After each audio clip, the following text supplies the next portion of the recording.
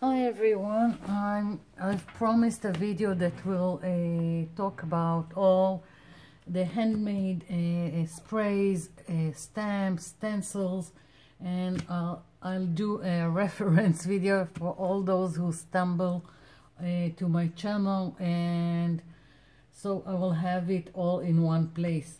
So let's start with the handmade sprays. I have two kinds that I make. I've got all these are gel food coloring. These are local brands, so I can't do uh,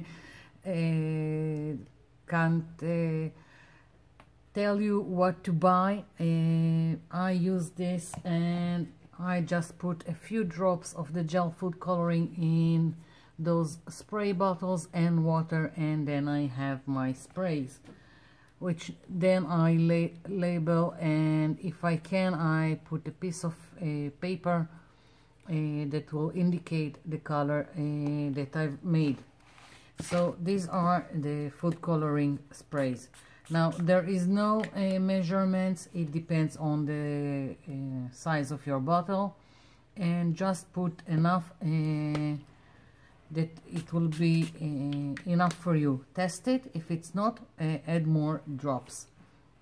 The other kind of uh, sprays that I make are from this kind of textile dye powder.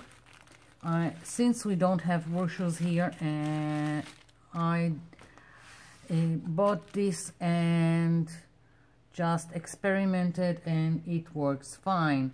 I just take a tip uh, of like a, a palette knife take a little bit of powder put it again inside the spray bottle with water and I've got a, a, a spray handmade spray. And it, they work uh, great and I've already made videos and I've used them. Also th this powder I just uh, use it as pigment and I use it with the uh, white glue to make uh, colorful glazes. There is a video about it. I've used them with gesso and they are very intense and they uh, create a very nice effect. So this is uh, the quick way to make uh, homemade sprays and just know they are transparent and if you want something more then this is not the way. So this is it. That's my handmade sprays. Now moving on to making stencils. So first when uh, I didn't have stencils and I wanted to make some and I didn't find acetate at the shops especially not the cheap uh, stores that I work uh, go to so I was looking for something to work with and I found dividers plastic dividers. And they are quite uh, flexible and they are durable. And I thought it would be easy uh, to work with and I've made stencil from them. I will uh, show you just for example one of those uh, stencils I made let's see I didn't get I didn't take out one of them in advance so now I have to let's see here we go. Here is one of the stencils I've made I don't know if you can notice but I've also used it uh, on my jelly plate so you can see the markings so this this is um, what uh, I've made at first uh, for stencils.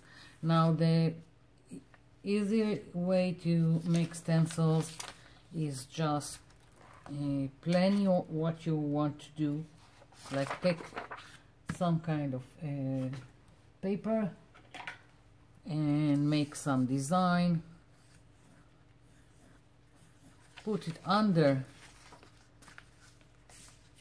the the divider the plastic divider then go over it with a permanent marker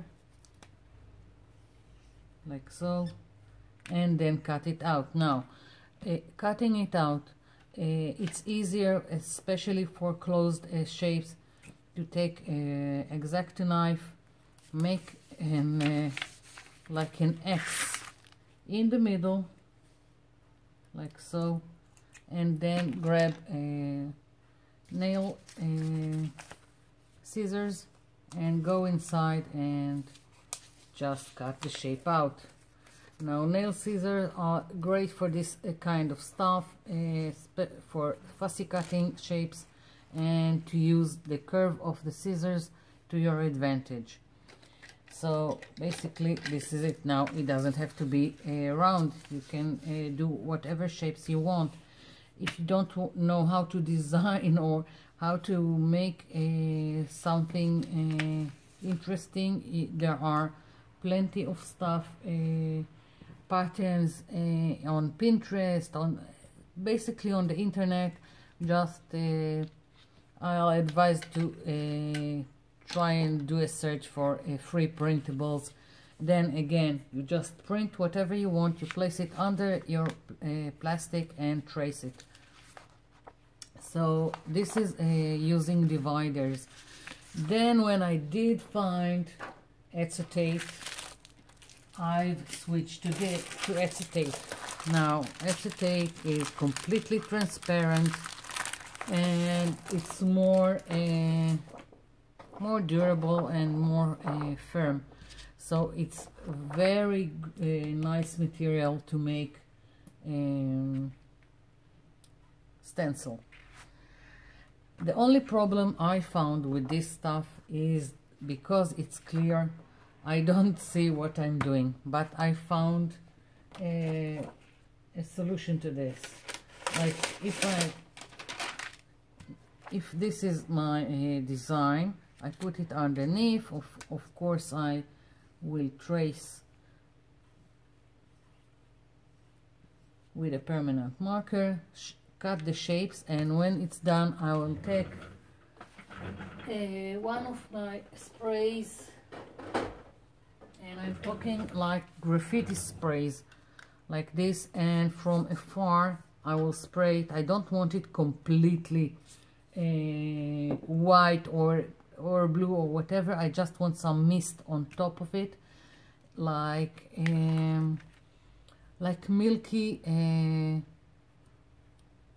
glass for windows uh, if I'm explaining myself so then it's not transparent anymore and you can work with it let's see if I have an example for this kind of a uh, stencil I made and sprayed so I can see what I'm doing. Here we go. This was a transparent acetate and I sprayed it from afar and now I can see what I'm doing. It's, it looks like a stencil uh, that uh, bought, in a shop. Of course this is not machine made, this is uh, something I made.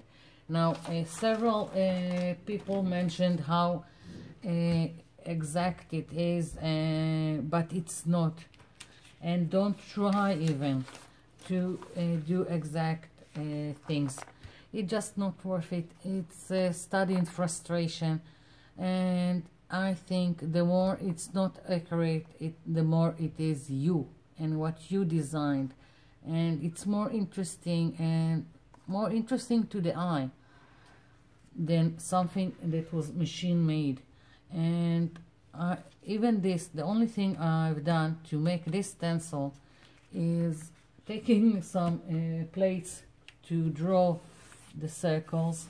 So I will have some kind of guidelines something like that. And then I started cutting the shapes. And as you can see they are not consistent but using this stencil uh, proved to be very nice, at least in my opinion. So I think all this quirkiness and all the things that are not symmetrical are better, but that's up to you. You can take a, a design for a mosaic from the internet, print it out, trace it, and do something that is completely symmetrical. so uh, that's the way I'm doing stencils moving it aside and moving on to handmade stamps so handmade stamps are basically I'm using fun foam or craft foam whatever you call it. Now the uh, most easy way is to buy uh, from uh, where uh, there is kids craft uh, shapes that are already cut and from this uh, make your construct your stamp. Now most of the time I will and these are shapes that mostly not all the time will come with adhesive in the back so it's easier now most of the time I will take these shapes and mount them on foam uh, foam core board because it's easier and then I have something to hold on to. I can take like these stamps, the triangles and I can make myself some kind of stamp like this.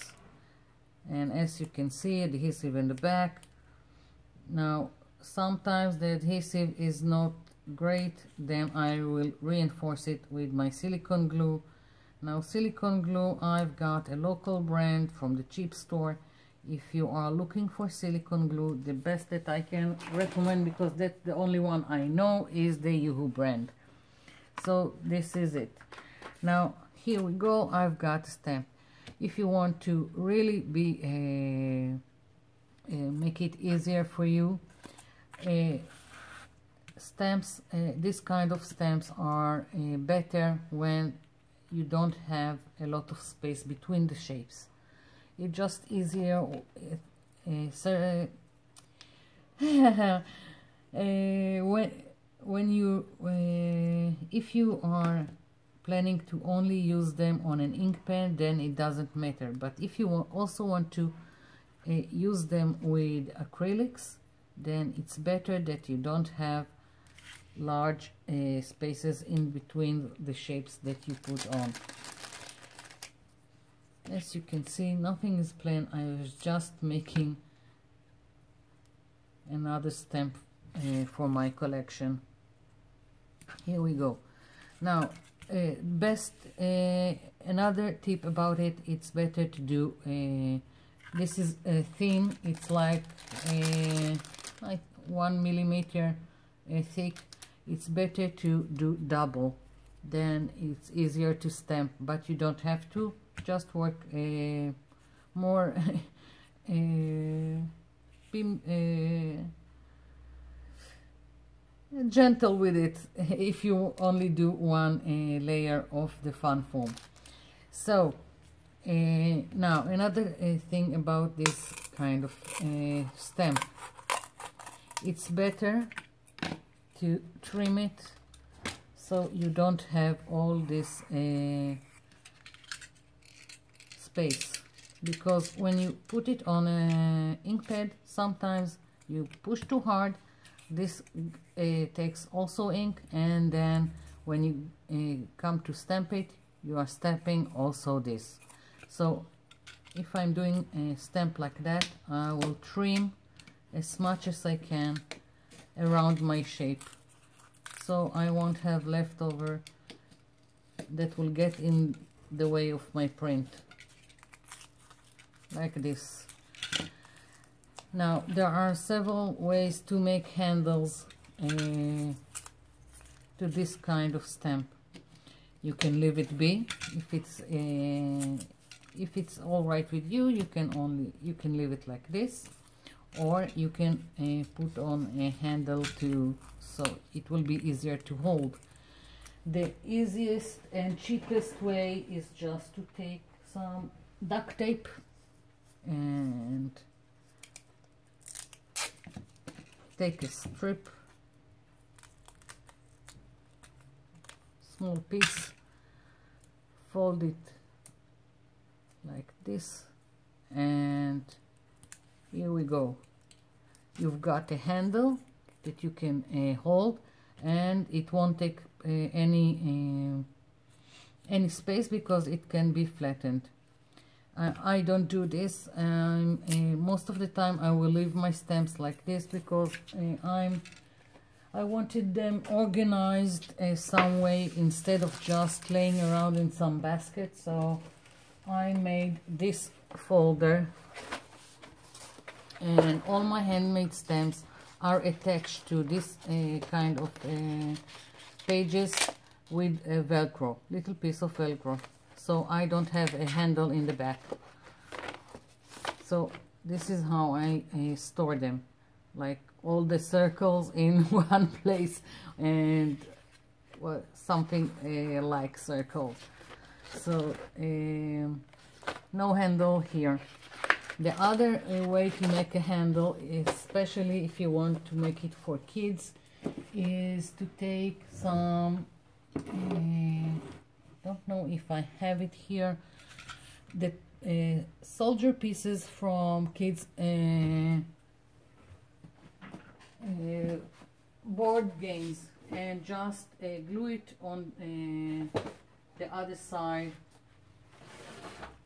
of the stamp. I'm looking for an example. Here we go.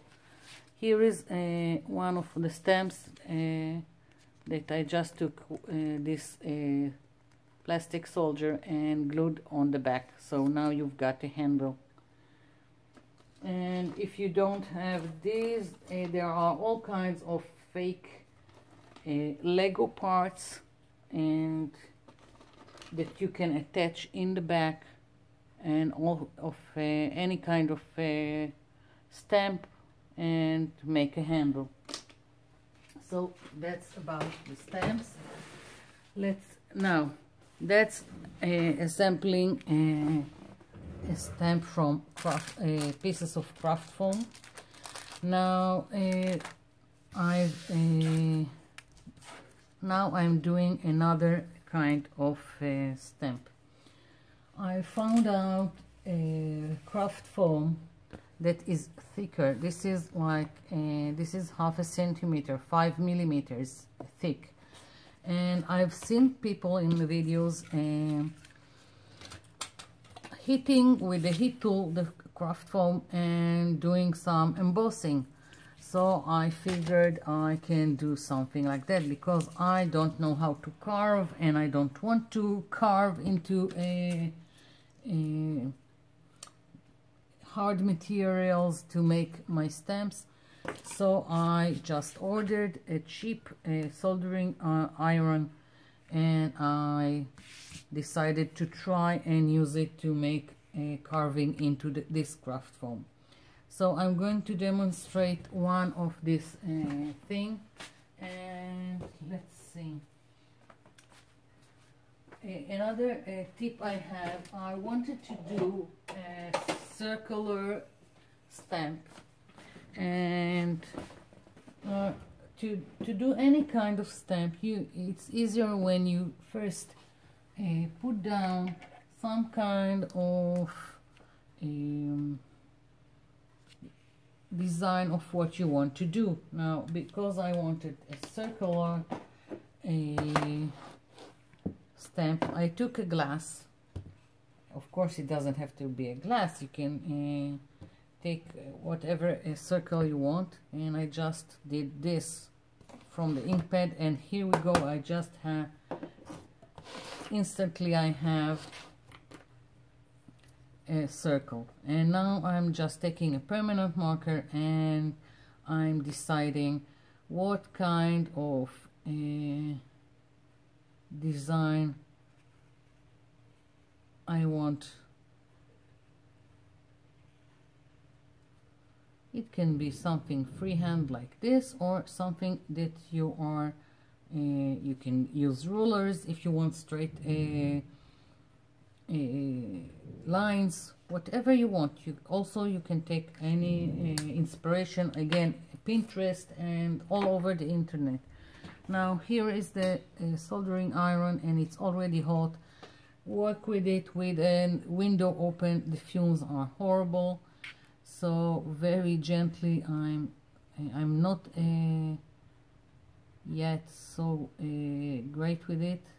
It takes time to learn how to work it and you decide what you uh, want to remove. Do you want this to print or do you want the lines if you want the lines then you have more work of removing the rest. So if I don't want this to print I will need to go all over this and remove. And again here. If I only want these petals to print then I need to uh, burn I don't know melt uh, all the things that are beside the petals that I drew like this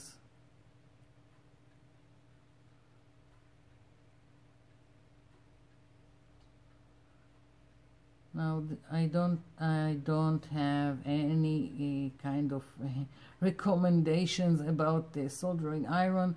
I just went into AliExpress and found the cheapest one I could find.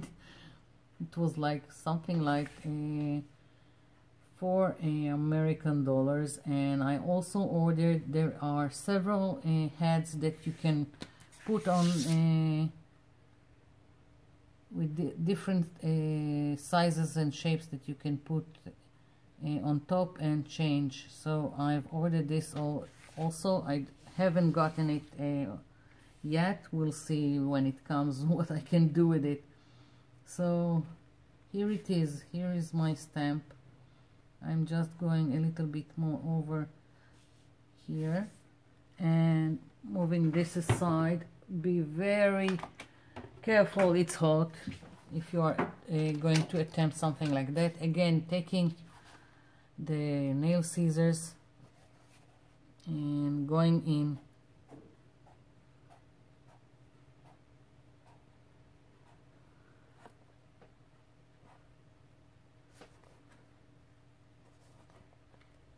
It's a little bit difficult but can be managed it just formed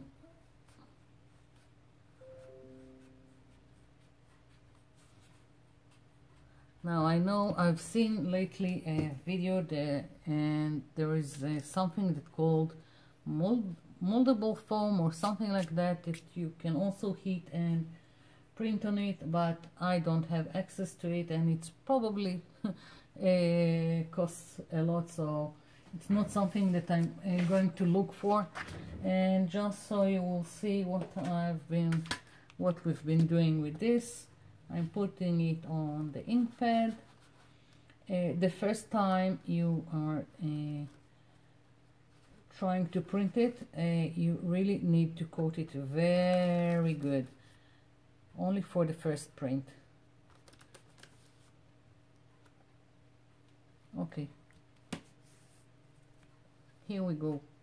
And as you can see I haven't gone over the edges quite so well. I can uh, take the soldering iron again and go over them but here we go. Handmade stamp. So these were uh, the stamps and what else? Of course uh, you can also make prints with lots of different stuff that you can find at home. And all the silicone stuff that you can buy uh, in cheap stores, uh, trivet and coasters are great to make uh, prints. So, uh, what else do I need to tell you about the stamps? We covered the sprays, we covered the stencils and this. Oh, now for a our journal and how I assemble it. I've learned through time that I like working on pages that are not attached to the art journal. I will take a page, I will work on it, put it aside until I've got a stack of them and then I'll bind them together. I made um, I made a video and it's called about uh, there are two videos one is how to uh, bind loose leaf pages and basically just so uh, you'll know I'm taking to bind loose uh, leaf pages. I will take a boring uh, scrapbook paper that I have or ugly one take a strip up out of it. If it's the strip and fold it and I will have a hinge and I will take one one a page like this and uh, glue it down. Another page let's see. Here we go. Another page glue it down. And then I have this double spread that after that I will attach back to back. I will have another one like this and they will be attached back to back which is the next the other video that I made how to attach the double spreads back to back. Like when I'm working on uh, this double spread again I uh, prefer not to work on it when it's attached to something. I prefer to work on my page like this. I will fold it put it aside and when I've got a stack of them I will just glue them back to back here. This and this will be glued together until I have got a nice art journal and then I'm only then I will do a cover. So this is about how I'm working all my uh, I'm working almost always on watercolor paper. It's easier for me. It's thick enough. It's durable enough uh, especially that I use a lot of wet media uh, like uh, a lot of uh, white glue. I only use white uh, glue and silicone glue. White glue the cheapest I find in the cheap store. Sometimes I'll dilute it a little bit with water. I don't have measurements. It's just something that I, how I like the consistency and so that's how I'm doing my art journals. And I've got everything is already on a video. Just check it out in my channel. Now uh, something quite weird happened uh, in the in last week. Uh, I've got a lot more subscribers and it's great but I just don't know how that came to be. If you have a minute please leave me a comment below and say how you stumbled upon my channel. It's great. Thank you for being here. But I would love to know if I need to thank someone for the shout out uh, if you came uh, through a recommendation from someone. So it would be very nice to know. And this is it. That's the reference video I've uh, told you I will make. I hope it was helpful and I hope I didn't forget uh, to tell you anything. And you can always contact me on Facebook for any questions that you have. Of course you can also uh, ask me on the comments in the comments below. So this is it for now. Thank you for watching. Thank you for leaving me comments and I'll be seeing you in my next video. Bye for now